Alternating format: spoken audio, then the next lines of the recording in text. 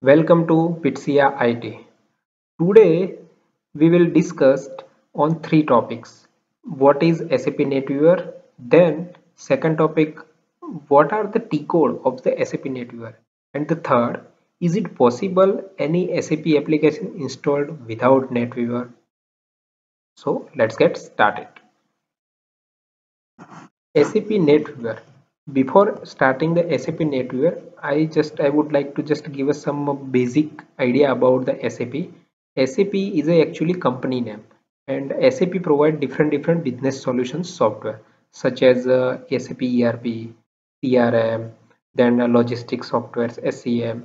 If you require any more uh, like a cloud related solution, then SAP provide this software.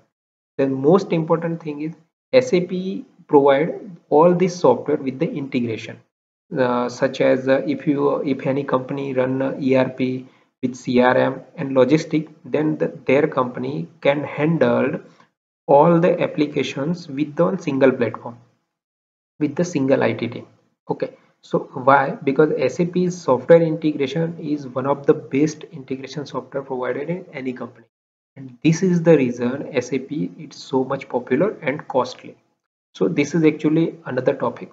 So now we will just discuss on the main topic. What is the sap NetWeaver so if you are working in a sap company as a consultant like uh, um, functional consultant and uh, someone asked suppose uh, you are a mm consultant and uh, someone asked uh, what is the patch version then generally what we do we just come onto the sap gui click on the system status and we will check here which mm application versions we have.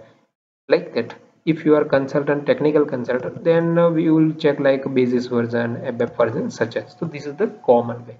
But have you noticed that anytime in any sap application either it could be ecc or s4 or uh, might be crm all the components depends on the application but sap basis sap abap SAP GWFND, SAP UI, and STPI.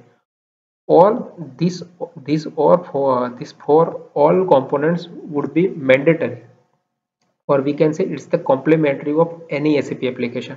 If you check in ECC, then you will find this all component. If you checked in uh, S4 system, then you will be fine. If you checked in CRM, you will be fine. So this is actually a collection of the uh, NetWeaver product. So now what is the basic idea and understanding of these four provide SAP by SAP NetWeaver component version. So if you install any application, this component will install by default. Okay, so this is actually NetWeaver, nothing else. This is actually concept. If you install any SAP application, by default SAP NetWeaver component mandatory. First, you have to install SAP NetWeaver, then you can install application. Now the second topic, what are the T codes if you want to check some example like that. If you are uh, using ECC, then in ECC system, if you want to create user, then what T code we will use SU01. If you want to check uh, like uh, some uh, uh, dump uh, error dump ABAP runtime error, then we'll use ST22. If you checked like uh, reports, then we will check SUIM code, right? either it is ECC application, S4, CRM, any application. So these all are basic and common transaction code for any SAP application because this is provided by SAP NetWeaver. And why SAP NetWeaver? Any SAP application based installed by SAP NetWeaver only. So these are the part of the SAP NetWeaver system. Now the third, is it possible? Without ABAP, without NetWeaver you can install? Not possible. Uh, think about yourself. Is it possible if you have installed ECC and you don't have a SU01 transaction code you don't have a dump then how it will be possible?